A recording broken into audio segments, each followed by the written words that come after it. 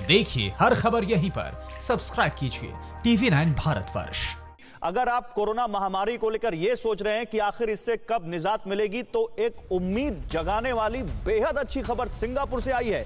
Singapore University of technology ने दुनिया भर के 131 देशों में कोरोना पर सर्वे किया और इंडिया पर जो रिपोर्ट आई, उसमें कहा गया है कि 21 मई तक भारत कोरोना से संतानबे फ़ीसदी आज़ाद हो जाएगा और 18 जून तक भारत कोरोना से पूरी तरह आज़ाद हो जाएगा। ऐसा सिंगापुर की यूनिवर्सिटी ने दावा किया है। ये यूनिवर्सिटी भी आपको बताते हैं कौन सी। Singapore University of Technology. इसने दुनिया भर के 131 देशों में कोरोना पर एक सर्वे किया और भारत के लिए अच्छी खबर यहाँ से यह है कि 21 मई इन्होंने डेडलाइन दी है कि भारत संतानवे फ़ीसदी, यानी करीब करीब पूरी तरह 21 मई तक भारत कोरोना से आज़ाद हो जाएगा।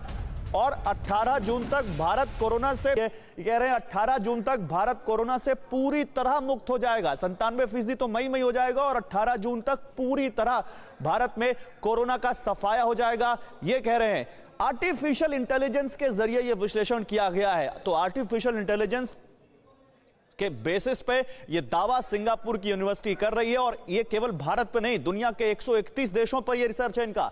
मरीज़ के संक्रमण और ठीक होने को आधार बनाया गया, यानी कितने लोग मरीज़ पॉजिटिव पाए जा रहे हैं और कितने लोग किस तरह से ठीक हो रहे हैं।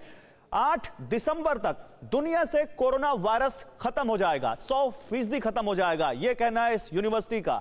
इटली और स्पेन को लेकर सही रहा है इस यूनिवर्सिटी का डेटा, इसलिए यहाँ उम्मीद और जगती है, क्योंकि जो उन्होंने इटली और स्पेन को लेकर दावा किया, वो सही रहा है, सिंगापुर की यूनिवर्सिटी का दावा। इसलिए अब ऐसा लगता है कि यह यूनिवर्सिटी जो कह रही है, उससे भारत के लिए अच्छी खबर है।